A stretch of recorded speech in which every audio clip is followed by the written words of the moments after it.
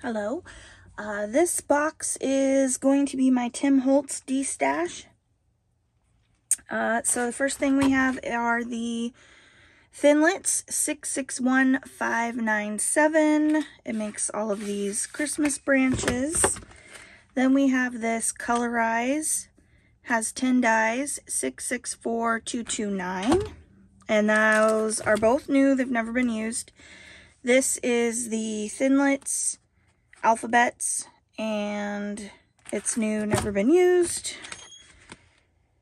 The alterations, Thinlits, um, I've used these and these, and these are new. And then we have the Stampers Anonymous Christmas stamps. Makes a poinsettia and some watercolor bushes. There is the Stampers Anonymous Letters to Santa CMS 053, and it has the branch, the Santa, the postcard, and the writing. And then there is the Mini Holidays 2 CMS 096. It's got all of these in there. Uh, there are two Distress Crayons, uh, Fortune Teller, and Wicked Elixir. There is this Reinker uh, Distress Oxide, Crackling Campfire.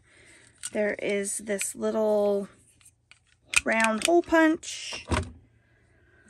Distress Oxide Festive Berries. It has not been used.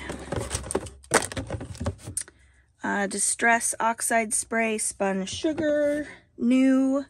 Distress Oxide Spray Tumbled Glass, new.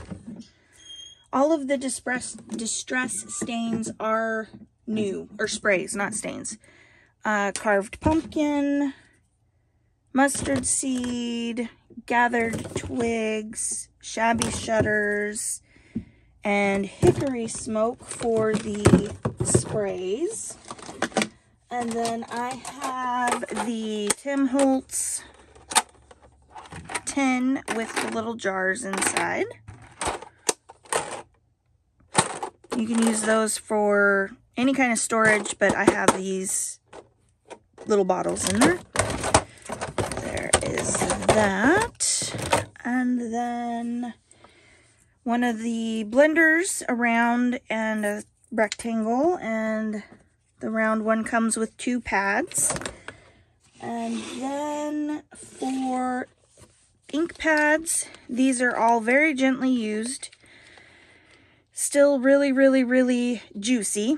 And it is uh, Wilted Violet, Peacock Feathers, Black Soot, Cracked Pistachio, Antique Linen, Spiced Marmalade, and the Vintage Photo.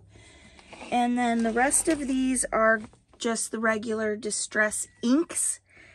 Uh, we have Iced Spruce, Fired Brick, Peacock Feathers, Wilted Violet, Ripe Persimmon, Picked Raspberry, Walnut Stain, Squeezed Lemonade, Weathered Wood, Peeled Paint, Mowed Lawn, Shabby Shutters, Stormy Sky, Tumbled Glass, and Salty Ocean.